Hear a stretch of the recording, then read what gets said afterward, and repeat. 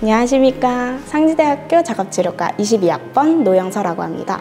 작업치료학과 20학번 이재용이라고 합니다. 산업화, 고령화, 환경변화, 질병, 사고 등 사회활동력이 감소된 사람들에게 장애를 예방, 건강유지 치료 및 훈련을 실행하여 건강한 사회를 꿈꾸는 작업치료과 전문가를 양성하는 학과입니다.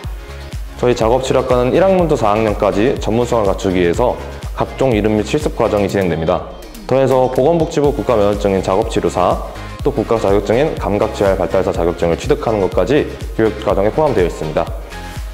우리 과는 전문적인 보건의료인을 양성하고 있습니다. 특히 최근 인구 고령화와 산업재해, 교통사고 등이 늘어나면서 작업치료사의 수요가 크게 늘고 있습니다. 언제든 현장에서 전문성을 발휘할 수 있도록 전문적인 실습과 최신 실습 기기를 활용한 실무 중심 교육이 진행되고 있다는 강점이 있습니다.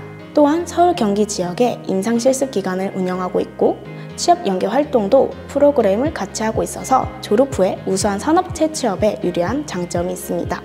먼저 의료 분야로는 대학병원, 종합병원, 재활 전문병원 등이 있고 교육 분야로는 발달장애센터, 장애아동 전담센터 등이 있습니다. 지역사회 의료 분야 진출도 가능한데요. 장애인 복지기관이나 보건소 등이 있습니다.